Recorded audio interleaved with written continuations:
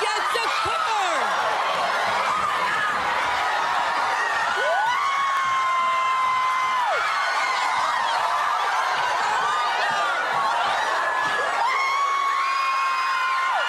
Yeah. Yeah.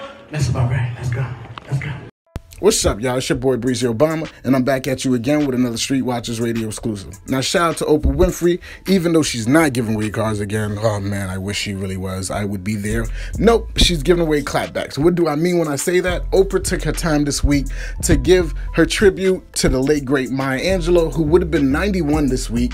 Um, and her and Oprah had a great relationship, so of course, this is nothing new. But a fan took no time to come at Oprah for how she came about it in her caption. Now, the fan said, Miss Angelou to you, Oprah, you have no license to call her Maya. She will always be Miss Angelou. Mm? What? Oprah said she actually gave me permission after the second or third visit to her home to call her Maya. Believe me, I witnessed when other folks did not have that permission. Uh, well, you guys don't know what Oprah's talking about? Let me remind you. You guys watch the clip. Don't forget to like, comment, subscribe. I'll be right back. We got more to talk about. Yeah, I wanted to ask Maya her views on interracial relationships. Oh, thank you. And first, I'm Miss Angelou. Miss Angelou. Yes, ma'am. I'm not Maya. I'm 62 years old. I have lived so long and tried so hard that a young woman like you or any other has no, you have no license to come up to me me. and call me by my first name. Excuse me. That's first. That's first.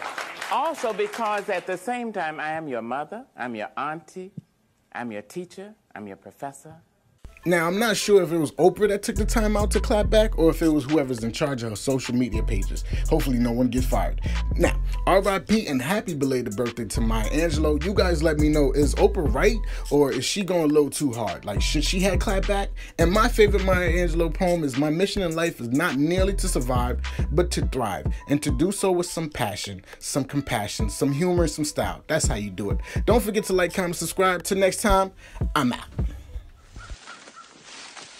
Told Harpo to beat me.